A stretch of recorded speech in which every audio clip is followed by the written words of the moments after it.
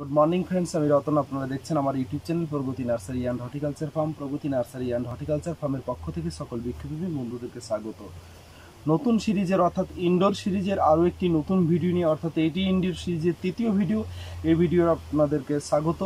তো আমরা আজকের এই তৃতীয় ভিডিওতে একটি নতুন ফান নিয়ে আলোচনা করছি। তো এই ফানের সিরিজটা আমি চাইছি, ফান বিষয়ে মানুষের মধ্যে যে কনফিউজ আছে এই কনফিউজগুলোকে দূর করবার জন্য, অর্থাৎ ফান নিয়ে যে দুশ্চিন্তার বিষয়গুলো আছে, সেই বিষয়গুলোকে ক্লিয়ার করে আমরা এরপরে ইনডোরের প্রচুর ভিডিও প্রচুর আমার কাছে কালেকশান আছে। আপনারা এই পিছনে অটোমেটিক দেখতে পাচ্ছেন যে এই জায়গাটা পুরোটা এবং এই গ্রিন হাউস শেডের ওই পাশটা পুরোটাই ইনডোর তো আপনার আমি এখানে প্রায় সাতশো স্কোয়ার ফিট ছাদের উপরে একটি পলি হাউস করেছি, তার ভিতরে গ্রিন শেড লাগিয়ে এটাকে গ্রিন হাউস করবার চেষ্টা করেছি। কিছুটা পলি হাউস ওই সাইডে রয়েছে।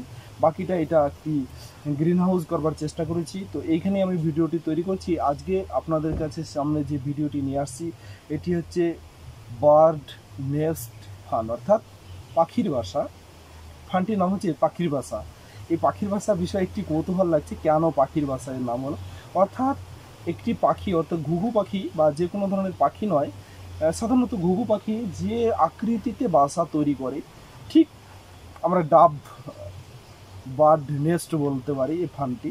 তো এখানে ঘুঘু পাখির মডেলে দেখুন একটি বাসা করেছে, মাঝখানটি ফাঁকা, চারদিকে পাতাগুলো উঠে আছে।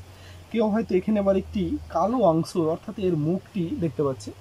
দেখুন, একটি অপূর্ব সুন্দর, অপূর্ব এবং সত্যি করে বলতে এই ফানটার বয়স মাত্র ছ মাস। আমি ছ মাস আগে এই ফানটিকে এই টবে, ব্ল্যাক পটে প্রতিস্থাপন করেছি। তো যাই হোক না কেন, আপনি যদি এই ফানটা ঠিক দু বছর পরে দেখেন মোটামুটি আপনার দু বছর ফানের মধ্যে একটি দু বছরের ছেলে দাঁড়িয়ে থাকতে পারবে, আপনি ওকে খুঁজে পাবেন না। দু বছরের একটি ছেলে এই ফানের ভেতরে যদি দাঁড়িয়ে থাকে, তা দেখতে পাবেন। অর্থাৎ ফানের কাণ্ডগুলো এইরকম মোটা মোটা বিশাল আকৃতি পাতা নিয়ে থাকবে। দেখে মনে হবে একটি বিশাল বাসা, বিশাল আকৃতি নিয়ে হয়েছে। তো আপনারা চাইলেই যে কোনো নার্সারি থেকে কালেকশন করতে পারবেন না। মোস্টলি বিশেষ কয়েকটি নার্সারিতে এই ফানের কালেকশান রাখা হয়েছে।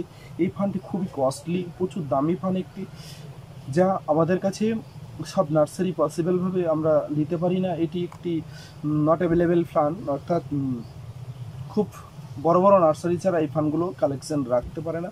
বা দিতে পারে না। যাই হোক না এখন আপনারা অবশ্যই চেষ্টা করলে পেতেও পারেন। আমি বলছি না কোনো নার্সারিকেই ছোট করার চেষ্টা করছি না। নার্সারির যে যিনি ওই নার্সারির মালিক আছেন, তার উপরে নির্ভর করবে, তার ব্রেন সেট আপের উপর নির্ভর করবেন। তিনি কোন বিষয়ের উপরে মানে গুরুত্ব দিয়ে সেই বিষয়টিকে কালেকশন করেছেন। তো আজকে আমরা এই ফানের একটি বিষয় বিস্তারিতভাবে আলোচনা করব, জানার চেষ্টা করব যে এই ফানটি আমরা কীভাবে যত্ন বা এগুলো কীভাবে পরিচর্যা করলে ফানটিকে সুস্থ স্বাভাবিক অবস্থায় আমরা পাবো। তো বন্ধুরা, দেখুন, ফান নিয়ে আমি পূর্বে আরও দুটি ভিডিও এই আমাদের এই চ্যানেলটিতে পোস্ট করেছি, অর্থাৎ আপনাদের প্রগতি নার্সারি চ্যানেলটিতে পোস্ট করেছি। আমি প্র্যাকটিক্যালি যতটুকু করি, আমি আপনাদেরকে সেই জায়গাটুকু শেয়ার করি। তো আমার, আপনার মিলেই এই চ্যানেলটি। তো যাই হোক আজকে আমি কথা না বাড়িয়ে এই ভিডিওটি মূল ভিডিওতে আসতে চাইছি ফানের জন্য। ফান নিয়ে আপনি পুরো পূর্বে যে ভিডিওগুলো আছে সেগুলো একটু দেখে নিতে পারেন। তো এই ভিডিওটিতে ফান মূলত বার্ড নেস্ট ফান। ফান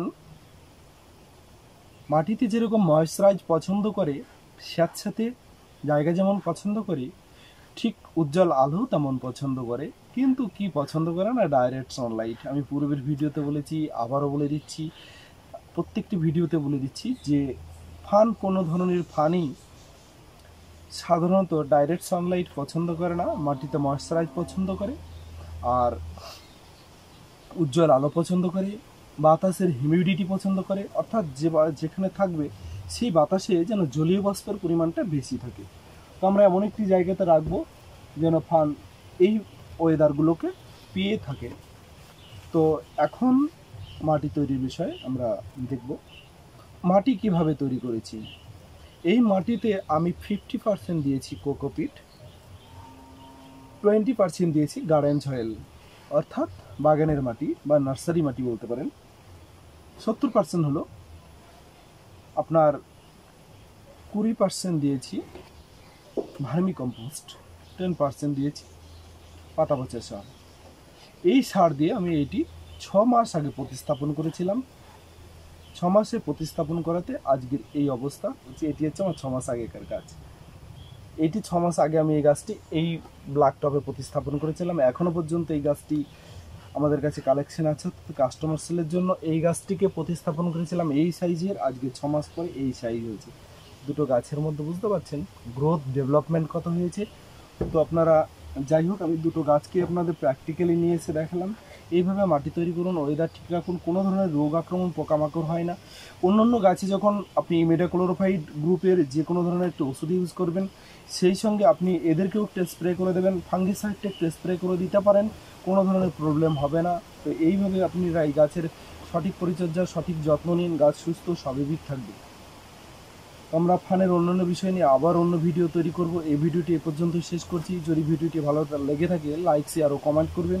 নতুন কিছু দেখবার বিষয় থাকলে আপনারা আমাদেরকে কমেন্টে জানান, আমরা সেই বিষয়ে আপনার জন্য ভিডিও তৈরি করব। ধন্যবাদ সম্পূর্ণ ভিডিওটি দেখবার জন্য। ভালো থাকবেন, আপনাদের গাছগুলোকে ভালো রাখবেন।